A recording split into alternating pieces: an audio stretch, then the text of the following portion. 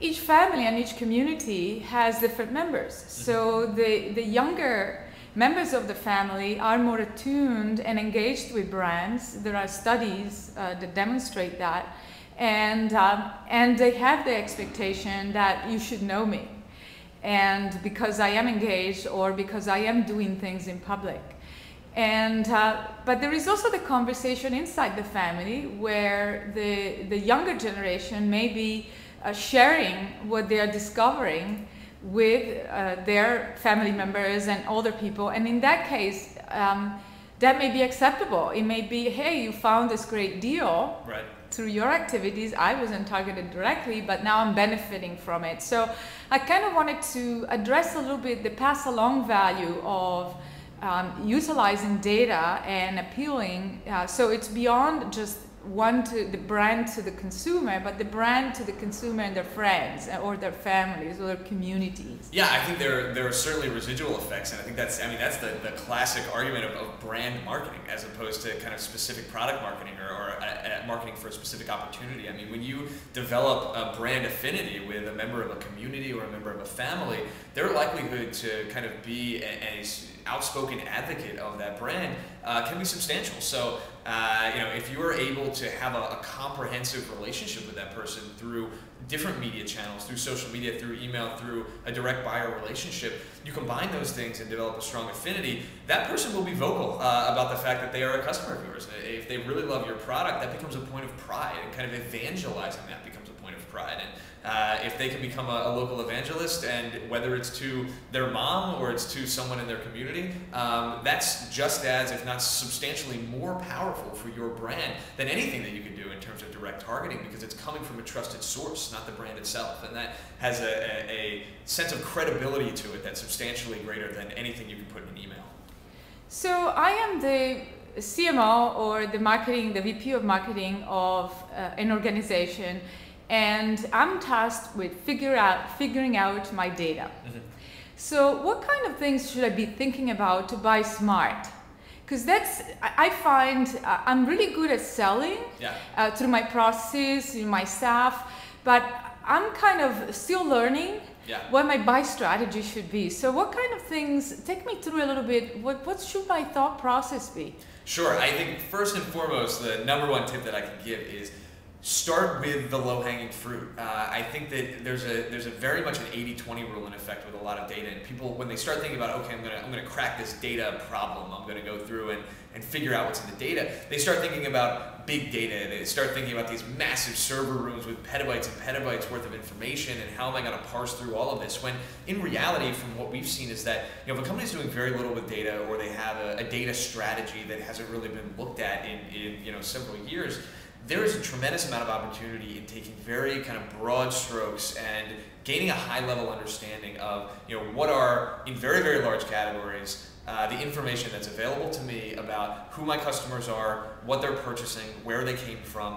uh, and kind of what their likelihood of, of doing it again is. Uh, and doing that kind of analysis does not require having five PhDs in statistics in a room. Uh, you know, uh, for RJ Metrics at 500 bucks a month, you can kind of get those answers, and you can do much deeper dive things as well. But really, what we encourage most companies to do who are just getting started is answer those initial questions, and better deep questions will uh, and I think that a lot of people try thinking very, very hard without having answered any questions at all about what are the top 100 questions I should so be answering. So there's no baseline. Exactly. So establish a baseline, understand what's there, um, and I think there is such a thing as being uh, far too specific and kind of getting to a level of, of specificity that becomes ineffective.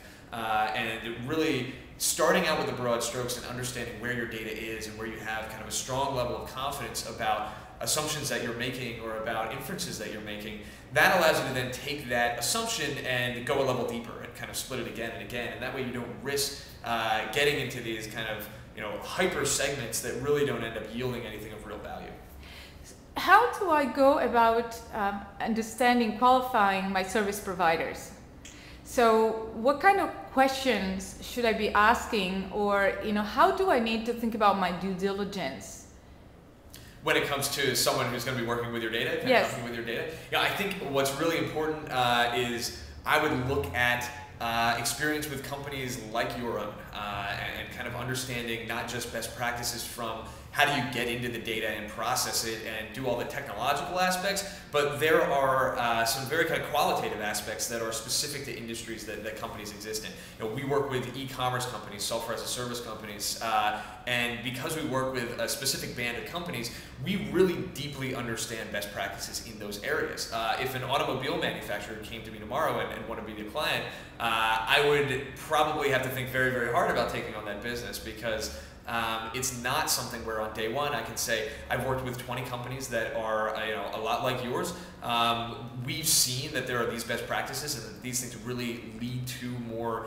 uh, intelligent, actionable decisions.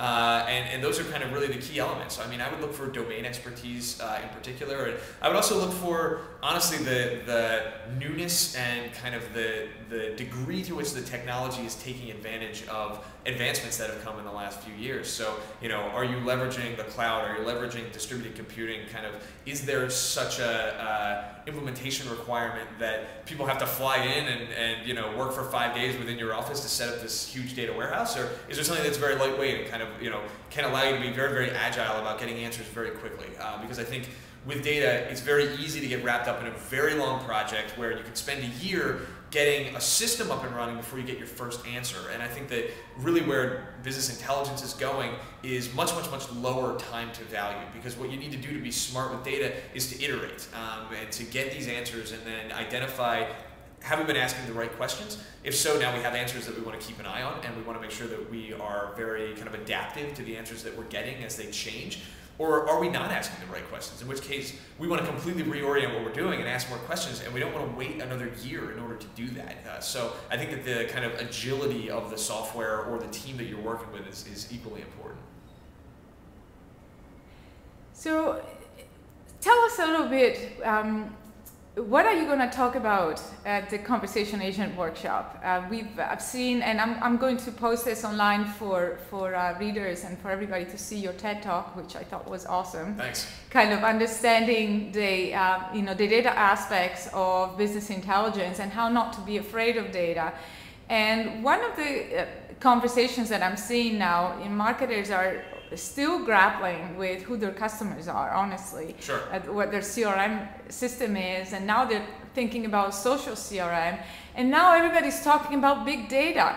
Sure. Uh, really, earlier you said go back to basics. You know, look at what you have, and so how can we help people? You know, kind of understand the process and take them through the process so that it's doable.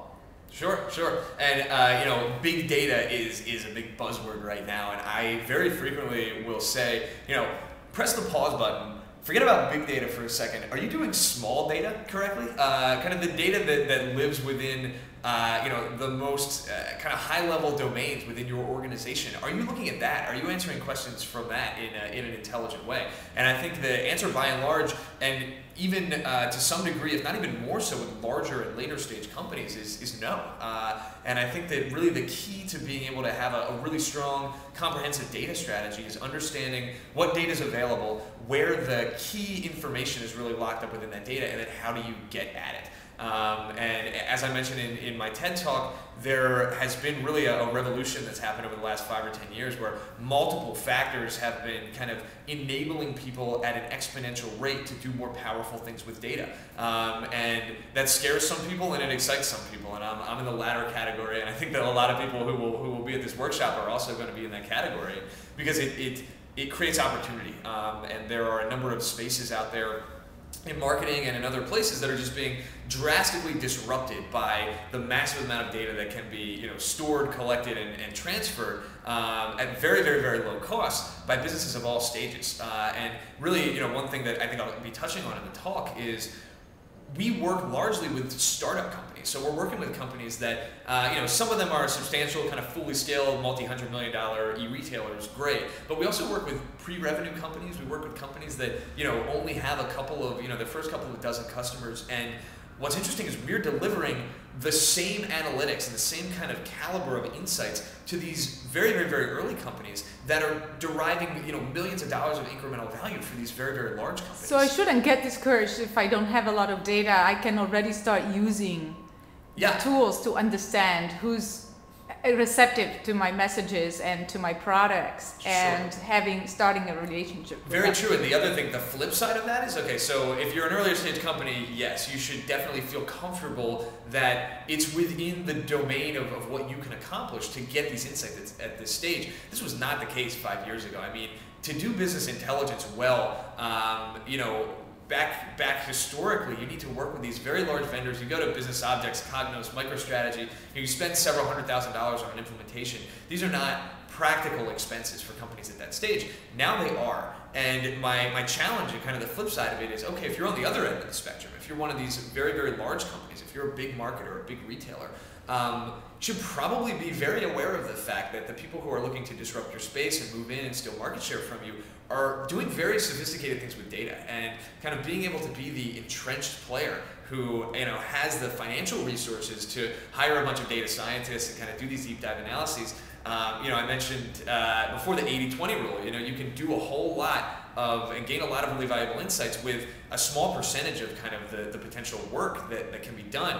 Well, that, that should be kind of scary to people who aren't doing any work at all, even even at a later stage. Um, and as you know, we're able to deliver business intelligence farther and farther down the long tail.